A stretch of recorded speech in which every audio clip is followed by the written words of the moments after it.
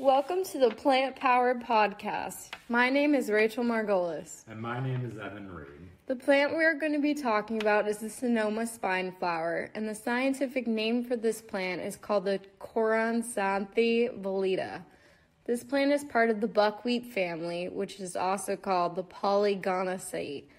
The flower has nine stamens which are fused together to the perianth base. This plant is also only native to California and is seen growing at Point Reyes National Seashore in Marin County in Northern California. It only has about 30,000 individuals in its current population, and the plant is characterized by its white to rose colored flowers, which grow only from June to August.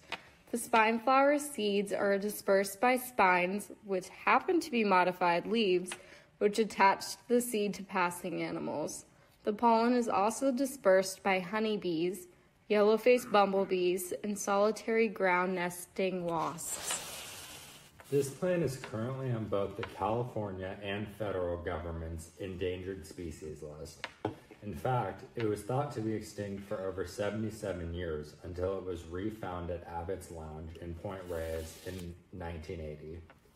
Some current threats to the Sonoma spine flower include grazing, trampling from hikers, invasive species, and climate change.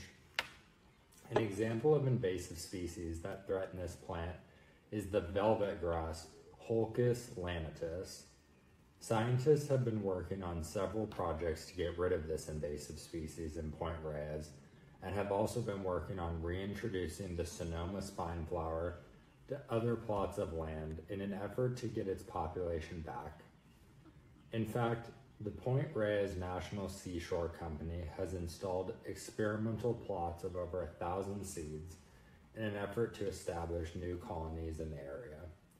They also have won a grant from the United States Fish and Wildlife Service of $60,000 and have worked to remove invasive species, move a road that is fragmenting the habitat, and collect seeds to use for reintroduction and collect soil samples for analysis.